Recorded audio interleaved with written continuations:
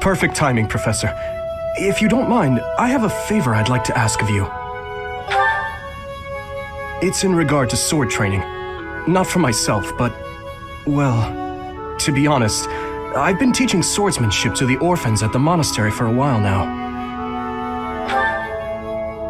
I must agree. Frankly, I'm not great with children. Some of them saw me sparring with the knights one day. They started pestering me to teach them. They were so earnest, I couldn't help but oblige. There's much I wish to show them, but due to my own studies and training, I'm afraid my time is rather limited. Which brings me to my favor. Your swordsmanship is unmatched. I hate to ask this of you, but would you consider lending me a hand? Thank you, truly. I am in your debt, and I always repay my debts, I'll have you know. All of these children lost their families and homes to war or illness. This may sound a bit arrogant, but I feel it's my responsibility to help them. I lost my parents without warning, too. In that way, we're the same. In Duscur, I lost my father, stepmother, and closest friends. I didn't have many allies at the castle after that. In truth, I had only Dedue for companionship. I'm afraid not. My birth mother fell ill and died shortly after I was born and my uncle. Suffice to say, we don't get along. Ah, but there were those outside the castle walls I was close to, such as Rodrigue. Pardon my rudeness. I meant Lord Rodrigue. He is my father's old companion and the father of Felix. On the occasions he would visit the capital, he'd take me out hunting or on long horse rides. While Dedue is like a brother to me, Rodrigue is more like a second father. It might sound ridiculous, but he's the kind of man I hope to become one day. Someone who helps others. Someone who can reach out and save a lost soul.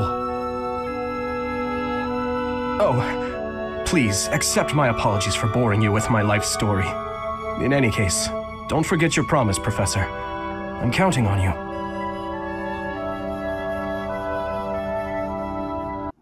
Thank you for your help the other day, Professor. Please, Allow me to express my gratitude by taking you to dinner. Nonsense. Your guidance was magnificent. Just what I'd expect from a professor at this esteemed academy. I've studied swordsmanship for some time, but your mercenary skills are something else entirely. Speaking of which, there's another question I must ask you. Were you reconciled with the reality of battle from your first foray? With the killing part, I mean? I see. No. I do not carry that burden well. I doubt that will change, no matter how many years come and go. The first time I led on the battlefield, I was sent to quell a rebellion in the west. It was not a difficult fight. The enemy was not well trained and their morale was low.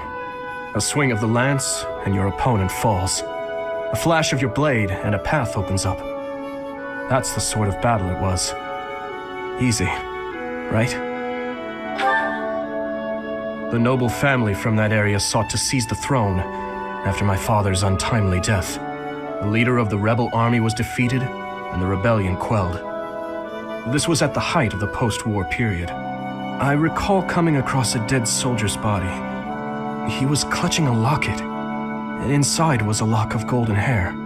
I don't know to whom it belonged his wife, his daughter, mother, lover. I'll never know. He was a soldier, an enemy, someone we had cut down without hesitation. But in that moment, I realized he was also a real person, just like the rest of us. Of course, we cannot stand idly by and allow anyone to commit senseless acts of violence.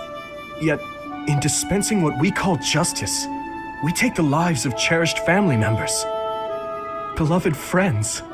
Killing is part of the job, but even so, there are times when I'm chilled to the bone by the depravity of my own actions. Is it? Perhaps you're right. I pray that you are. Professor, may I speak freely? When we first met, I thought of you as someone who felt no strong feelings about killing your enemies. I could never trust someone who kills without batting an eye. My heart won't allow it. But after speaking with you and getting to know you better, I can see you're not like that. Now I know, with all my heart, that I can trust you. Thank you for that.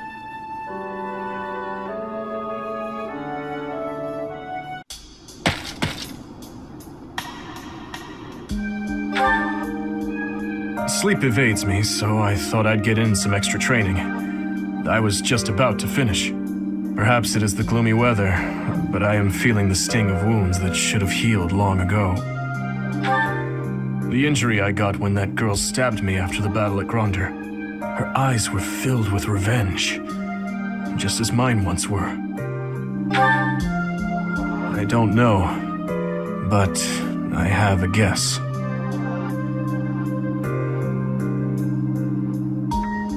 Ah, I suppose I haven't told you about that yet. I was attacked inside the monastery the other day. It caused quite the uproar. The ones who attacked me were some of the youths we taught swordsmanship to once upon a time. Of course, I could capture the lot of them with my eyes closed. It seems they were raised by a group of thieves we put down five years ago. I heard Lady Rhea took custody of them, claiming that the children were innocent.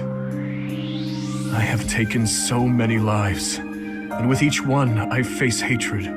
During the last five years especially. My life was not so different from that of a wild beast. And that young girl's brother. At some point I must have... That is why I thought it only natural that someone would retaliate someday. Because I hated. Because I stole and. Because I killed. But with those children, it's different. We drew our blades with the best of intentions, only to hurt them in the end. I suppose this is yet another thing we will just have to live with. Yes. As one who chose to fight, it is my responsibility to confront this anguish and the true nature of war, until the day my life comes to an end. Perhaps. You know, Professor, there is something that I only recently realized. I never knew it could be so comforting to have someone standing by my side. Come now, my friend. You must stop staying up so late. Tomorrow is yet another early morning. Then again, I know that matters little. You cannot sleep, can you? Neither can I, of course. I... I want you to know I am sorry for making you do so much when your battle wounds aren't even completely healed yet. Do not worry about me. My shoulder has healed nicely. I still have some numbness in my hand, but it should not hinder me too much.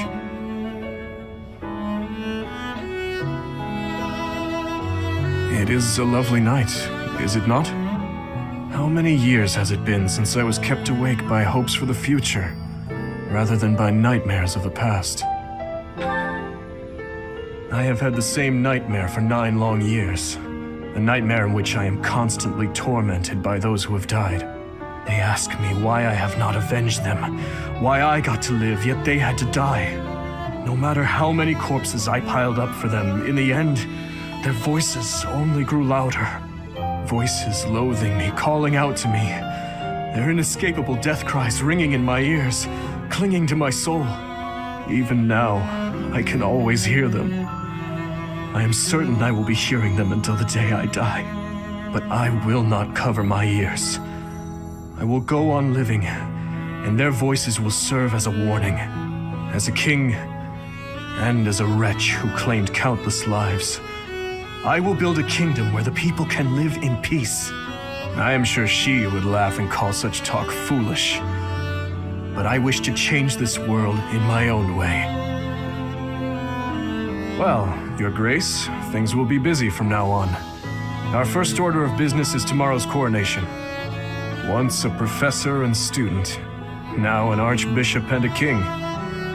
How very far we have come. That is true. to me, you will always be the one who guided me so kindly. My ally through all. My beloved... Yes, my beloved.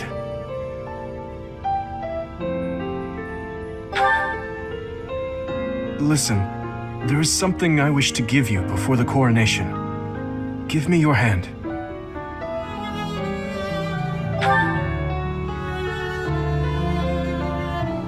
Please, I beg of you, say something. If you do not wish to accept it, please, just tell me. If so, I will face the truth and walk away.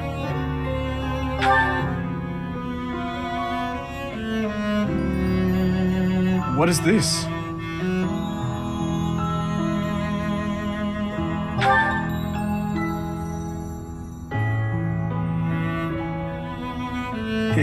I see.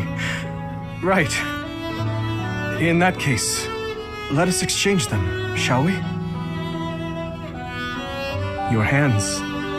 Now that I hold them within my own, I see how small and fragile they are. These hands that have saved me countless times. Thank you, my beloved. Your kind, warm hands.